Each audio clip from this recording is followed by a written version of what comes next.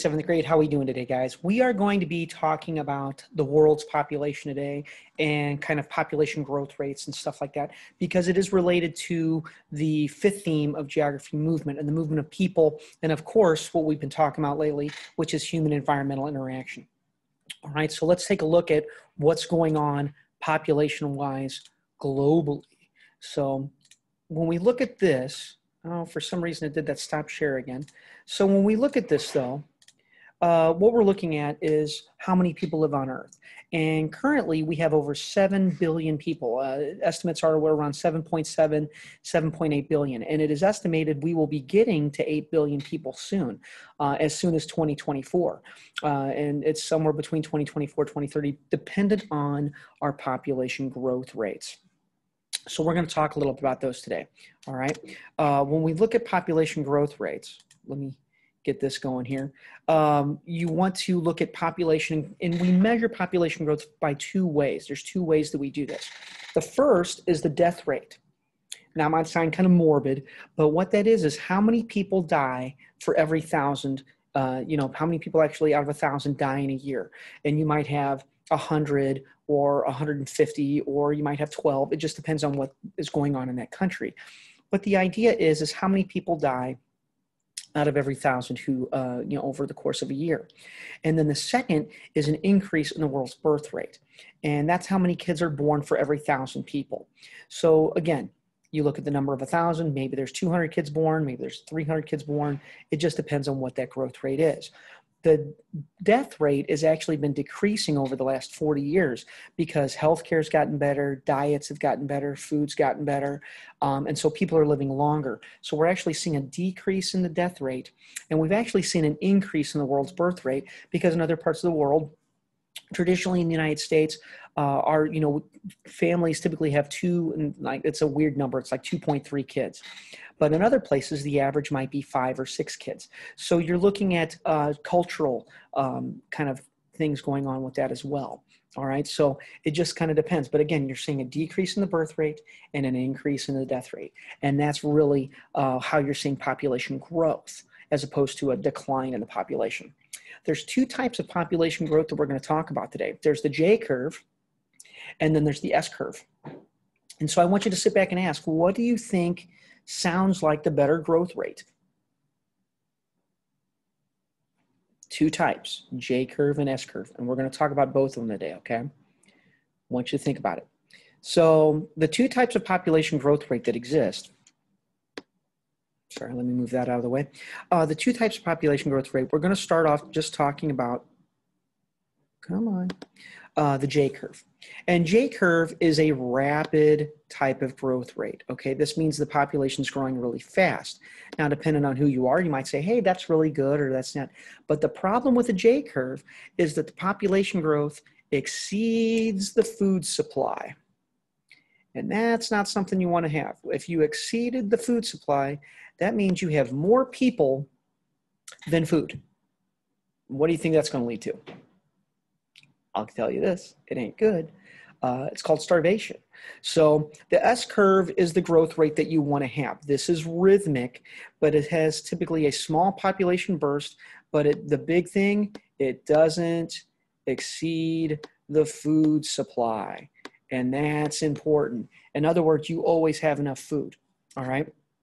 Kind of looks like a big OS. So let's take a look at what's going on with the world's population growth rate right now. So here we are. Uh, this is from the United Nations. Um, it said we were a little over 7 billion. We're kind of on our way to 8 billion up here. But what kind of growth rate does that look like? The good news is, is if you see the J, that's what that is. That's a J curve. So if you're ever wondering why there's other parts of the world that are going hungry and stuff, there are areas that have the population has exceeded the food supply. That is the issue um, and why we have, you know, global stuff like that. So here's the world's population right now. China roughly makes up almost 20%, India uh, almost 18%, and here's us, 4.39%. If you don't know what that, uh, the 20 point, uh, here, here's our 7.8 billion. Uh, China is around 1.4 billion. India is closing in fast at 1.3 billion. We're down here, 331 million. But Fun fact, we're the third most populated country on the planet. So it's not like we're just some tiny, tiny country. We have a large stake in this. But if you think about it, out of that 7 billion people, 3 billion roughly live in China or India, just in those two countries. That's massive. All right. So advances in technology such as improved irrigation systems, the creation of better plants, sturdier plants, stuff that's, you know, insect resistance, all of that increased food production has also increased population. But when you see warfare, when you see drought or famine, um, a severe lack of food, then you're starting to see populations, uh, you know, that's where you start to see people go hungry and whatnot. Here's the expected population growth uh, that they, they, they did from the National Population Research Center. Africa's population is ex expected to increase 120%. The United States' population is expected to increase about 50%. China or uh, Europe and Russia's is expected to decrease. Uh, they have what we call a graying population. What that means is the average age of people is going up because, frankly, the average uh, family in uh, Europe has like one kid per family, 1.8 kids or something. It's less than two. And if you have two, uh, that means you have zero population growth rate because you have, you know, two people and then they have a kid. If they have two kids, that's, you know, they'll eventually die and the net gain is zero. But if you have three kids or four kids, then the net gain becomes net one, net two, stuff like that. Remember, land only covers roughly 30% of your surface. And so half of that is really usable in what we call arable land that's be able to use by humans. Uh, mountains, deserts, ice, you can't farm on that stuff. And so it's hard to support large numbers of people in that. So the, the usable land is not evenly distributed. Uh, we are fortunate enough to, to live in a very fertile uh, area. We live in the Midwest of the United States. You got corn literally growing, you know, 500 feet from us. There's food all over the place. Um, but it's not like that. You know, you go to the Sahara Desert or you go to certain parts of the world, um, it's either too cold, they can't farm. Go to Russia, Alaska, you go to uh, the Sahara, Northern Africa, um, you know, Atacama Desert, you can't farm in those types of things people naturally prefer to live in places that have fertile soils because so they can farm and have food. They like milder climates the like we that's why we have a large population around our area. There's natural uh, resources water resources. Again this is related to the theme of movement and people move to these areas for those things. These are big. This is this is all this.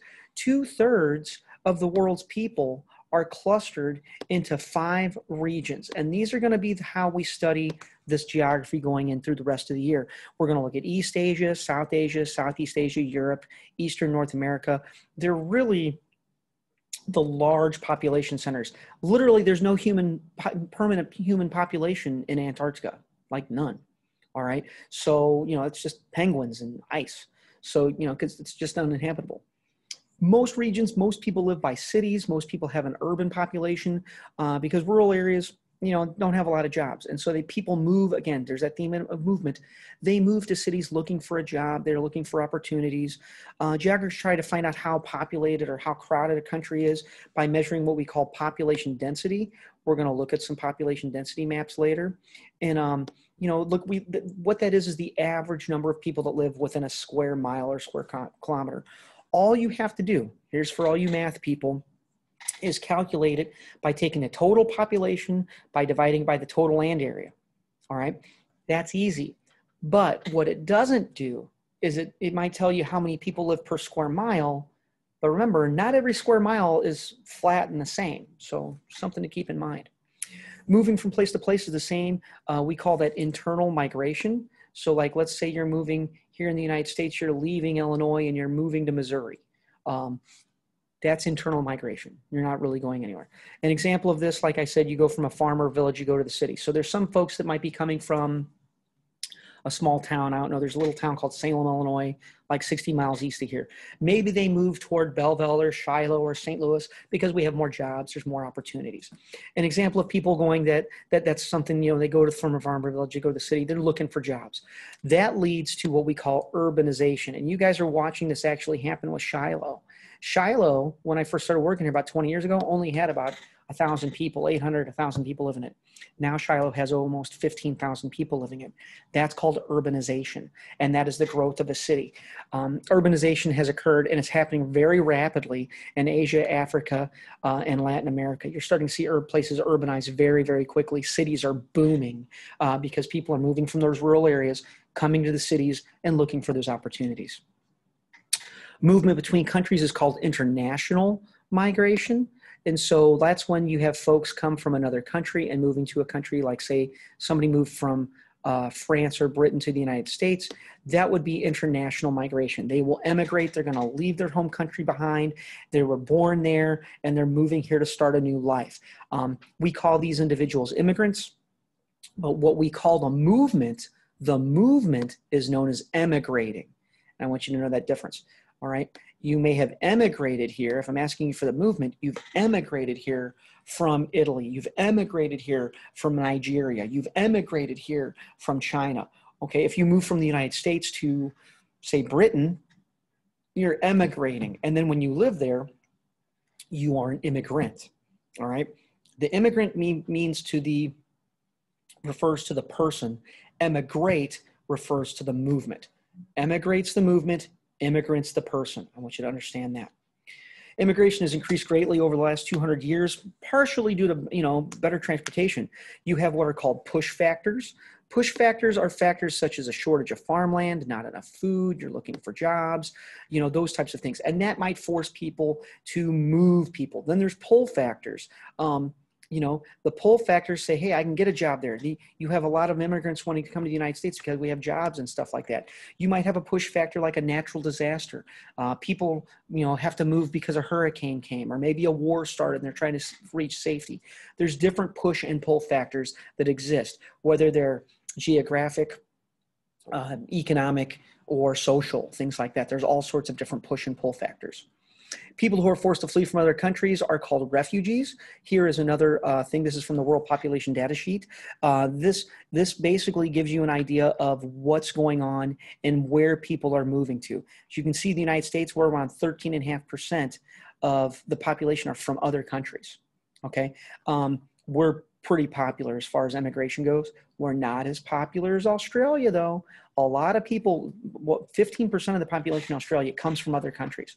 Um, not a lot of people moving to South America, not a lot of people moving to Africa or, you know, India, China. Um, more people are going into Europe, but here's number one, here's number two, and here's number three. You're looking at that total population of people moving into those areas. Okay. And uh, again, you might have had a war that's taking place in Africa. Those people might move to Europe. Uh, you might have had something down here. Uh, they might be moving up here. Uh, again, opportunity, push and pull factors are affecting that. So we will, oh, we will um, keep that going on. Sorry. So we will uh, stop on that one. Uh, we are going to talk a little bit more about the push-pull factors. You will have some assignments that deal with push-pull factors this week. All right. I will see you at the Zoom. Have a good one, guys. Bye-bye.